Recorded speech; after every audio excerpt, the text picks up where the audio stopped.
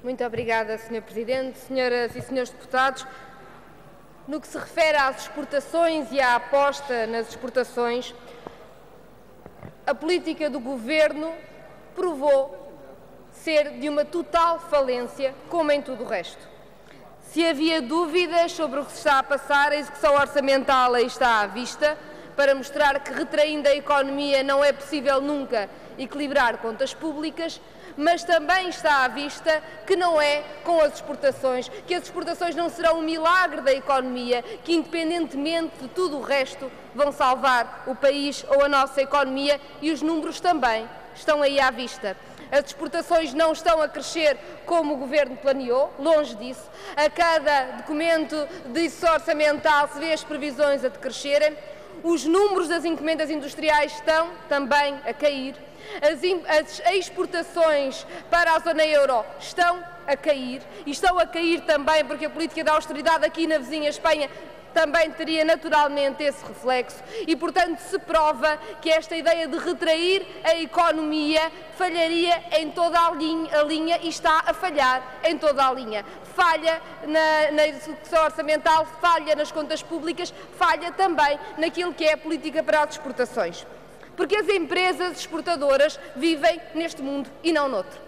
Vivem com as políticas de austeridade em Portugal e vivem com a austeridade que está a ser imposta a outros países da União Europeia e que são destinos das exportações portuguesas. E, portanto, não percebendo, não percebendo que as empresas exportadoras não vivem noutro mundo, não há solução, não há medida avulso que possa resolver o problema.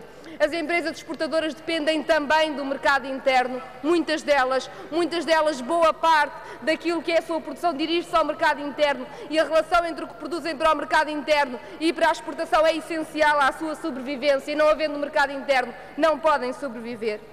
As empresas exportadoras dependem, como todas as outras, daquilo que é o acesso ao crédito e a verdade é que nada está a ser feito em relação à banca e em relação à asfixia que está a provocar às empresas. Estamos a recapitalizar a banca, milhares de milhões de euros para recapitalizar a banca sem qualquer garantia, sem exigir qualquer contrapartida no que se refere a financiar a economia real. E mais, sabemos todos, sabemos todos que uma banca está até a usar os programas que são dirigidos para as PMEs para, na realidade, se recapitalizar à conta de fundos que deveriam ser para a economia real. E quanto a isto, o Governo continua sem fazer nada e o Partido Socialista também não apresenta medidas.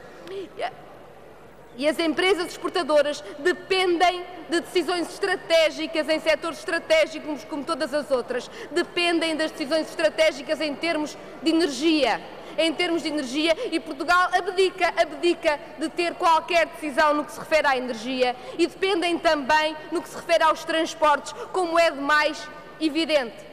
Sabemos que as privatizações, as concessões a privados, setores estratégicos como os transportes, vão necessariamente aumentar os custos de contexto das empresas exportadoras. E por isso é que não podemos dizer que vimos para um debate sobre exportação, sobre economia e dizer que não é também um debate sobre as privatizações, sobre as opções, sobre as privatizações, que significam custos de contextos. Transportes privados infraestruturas privadas são mais custos de contexto para as empresas exportadoras também e é menos capacidade estratégica do Estado português no apoio à economia. Não temos decisões sobre energia, não temos decisões sobre transportes, privatiza-se tudo, ficará mais cara, fica sempre mais cara a energia, mais caro os transportes, piores também as empresas exportadoras e é por isso que não se pode fazer de conta que se pode discutir exportação ou qualquer outra área da economia e não falar também de privatizações. E era por isso tão importante que o Partido Socialista